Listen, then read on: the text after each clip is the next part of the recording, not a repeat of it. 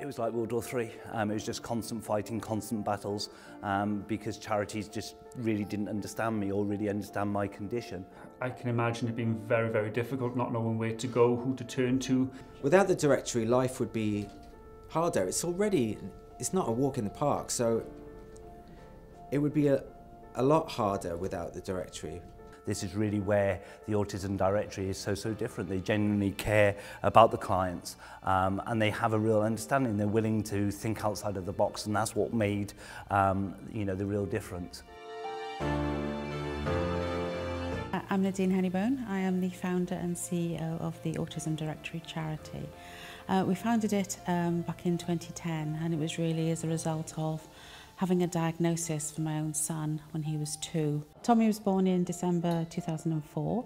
Um, he was uh, he was an IVF baby, so very much a wanted little boy, um, and he was developing normally, hitting all his milestones like babies do, crawling, uh, walking, and even talking. Um, and it was about 15 months um, old when all of a sudden we realised that he'd lost the words that he started to gain and he started to withdraw a little bit of himself. There wasn't, you know, it was, it was other people that were noticing it as well, you know, not just me. It was, uh, you know, why isn't he saying Bob the Builder anymore? And it, it was difficult to sort of engage with him in that, in that moment. So we, we did the usual, you know, concerned parents went to the GP, GP referred us to CAMHS, and, and within 15 minutes of our CAMHS appointment, we had the diagnosis of autism.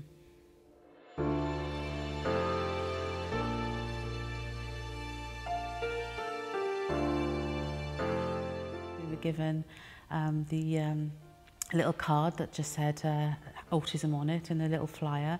Um, I'm, I was left to my own devices really as to what on earth it was. I heard of the word, didn't really know what it meant.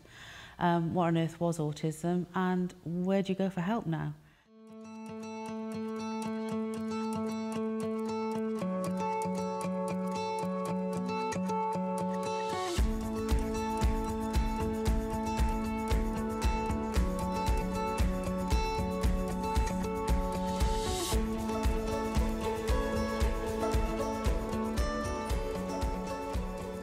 It's a massive, important kind of step for a parent to find someone like Autism Directory because it takes some of the pressure off and some of the weight off.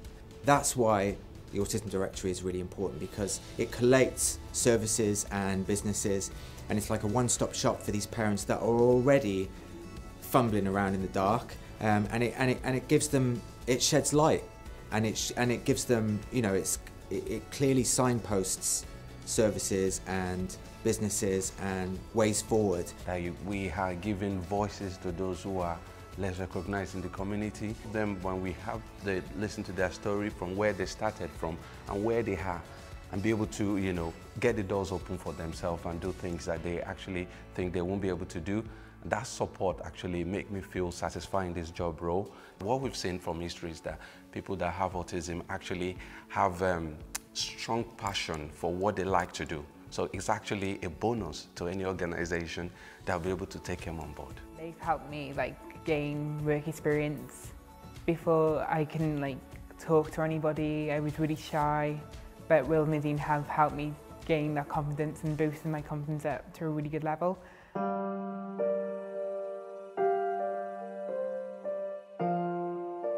Starts off as a much smaller dream and an idea. So originally I never thought about where it would get to. But as I met the charity, the Autism Directory, the things they've done for me, I still can't comprehend. I still can't believe I'm here just about to start running. I then had a loyalty to them, you know. I realized now there is amazing people in the world. I didn't even know so many strangers that have come to help me. So that took on a meaning. But the main thing was I didn't realize my story was going to be inspiring to people. I didn't realize it was going to help people. The people have come to me and said what I'm doing is amazing. I've helped them deal with their difficulties and things. That's when I've realized my story is important and it has to be told. Because it, I spent so many years keeping this to myself. My whole family didn't know. And that just made my struggles worse. So getting it off my chest was amazing for me. But knowing I could help other people and hopefully help them go through the transition I did is that's that beats a lot of the other motives I have for the challenge. I think what the charity is doing is incredible.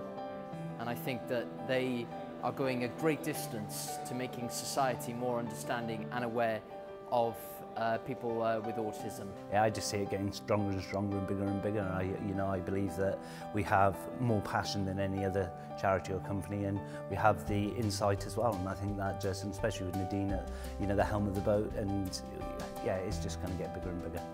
And even if you're just reaching out to um, the Autism Directory, you are making those steps, you're making those first steps, and, and what you'll find at the end of the phone is support and help.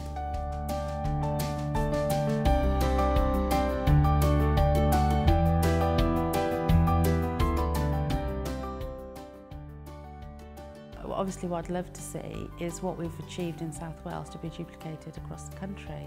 We've got a great fundraising team here um, and we've got great clients that we work with here um, and a community role here but what we'd like to do is be able to duplicate that um, around the country where our teams are right now.